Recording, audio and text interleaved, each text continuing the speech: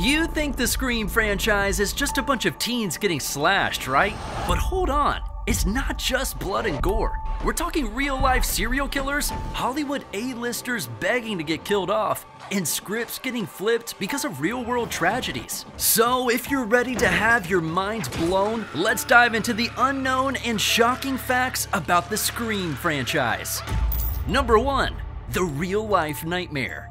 You know how the first Scream movie had you locking your doors? Well, the film was inspired by Danny Rolling, the Gainesville Ripper. This guy went on a killing spree in Florida, and his gruesome acts caught the eye of Kevin Williamson, the film's writer. Williamson was so spooked that he penned the script for Scream. It's like the horror jumped straight out of the police files and onto the big screen. Number 2. The Drew Barrymore Shock Factor.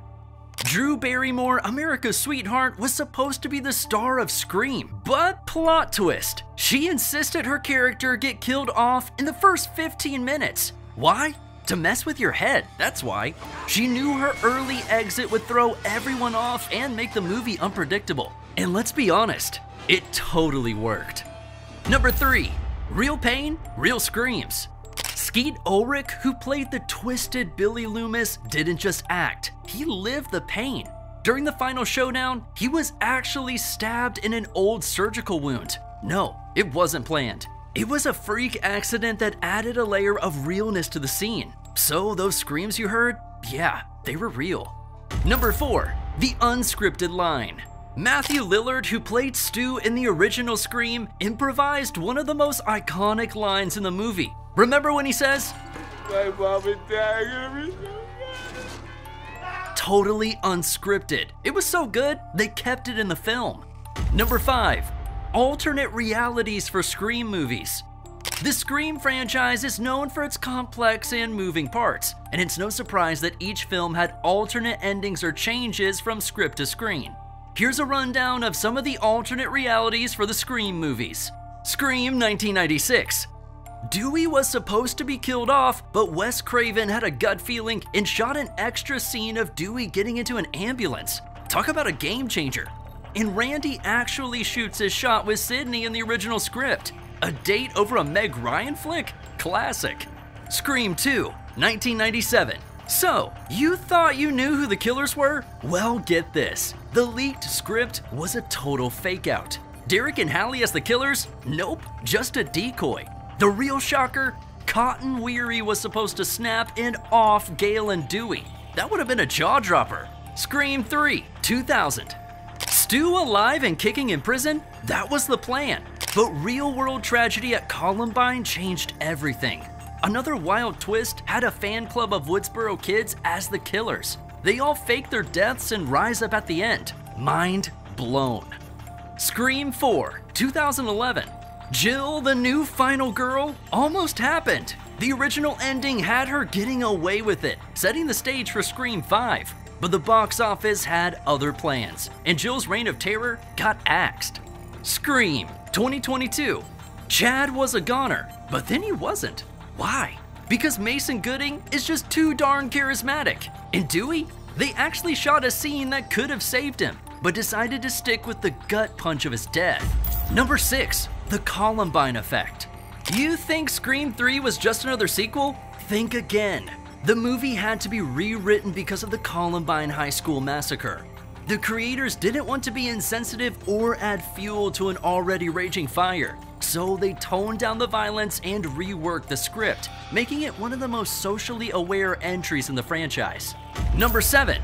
The confusing fifth installment. Scream 5 had everyone puzzled. Was it a sequel? Reboot? No one knew. The creators played it close to the vest, keeping fans guessing until the very end. It turned out to be a requel, a mix of a sequel and a reboot. It was like they hit the refresh button but kept the essence of the original series. Number 8. The Sixth Sense of Horror. Just when you thought you had the Scream franchise figured out, Scream 6 comes along and flips the script. This installment featured not one, but multiple ghost face killers. It was like a who done it on steroids. The movie kept you guessing until the very end, making it one of the most unpredictable entries in the series. Number 9. The Mask That Almost Wasn't. Hold up, the iconic ghost face mask wasn't a last minute find in a costume shop. The mask was actually discovered during a location scout. Wes Craven and his team were so into it, they decided to make it the face of the franchise. Budget constraints? Nah, just a lucky find that turned iconic. So forget about that different mask and white robe story. This is how the haunting ghost face came to be. Number 10, The Secret Cameo. You might have heard that Carrie Fisher had a voice cameo in Scream 3, but that's not the full story. She was actually on screen playing Bianca, a receptionist who's salty about losing roles to, well, Carrie Fisher. It's a full on appearance with a meta joke that only Scream could deliver.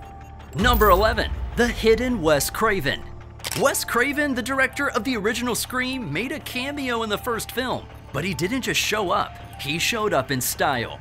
Craven appears as a janitor named Fred, wearing a sweater that looks suspiciously like the one worn by Freddy Krueger in A Nightmare on Elm Street, another film he directed.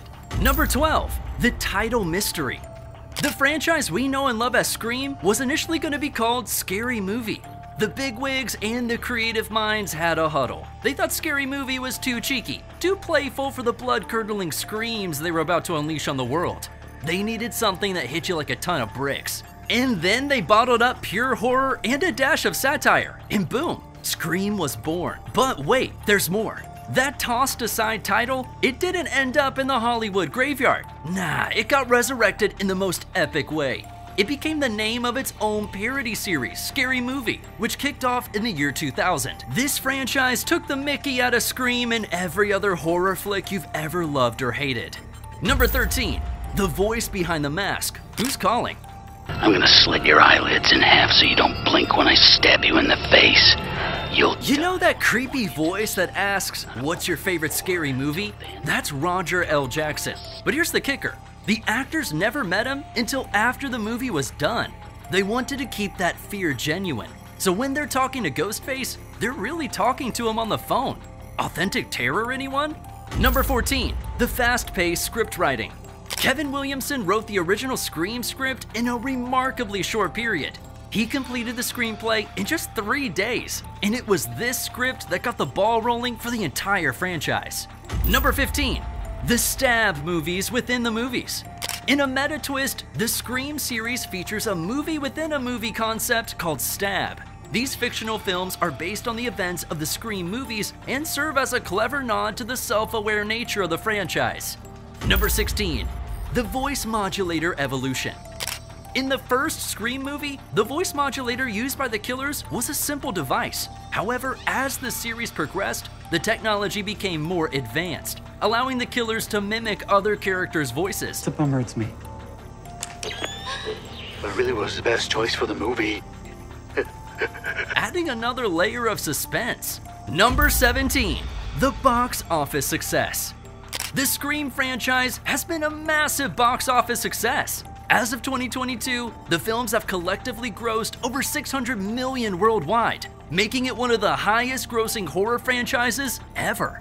So there you have it the untold facts about the Scream franchise that go beyond the screams and the masks. But remember, in the world of Scream, nothing is ever as it seems. Who knows what secrets the next installment will reveal? Stay tuned.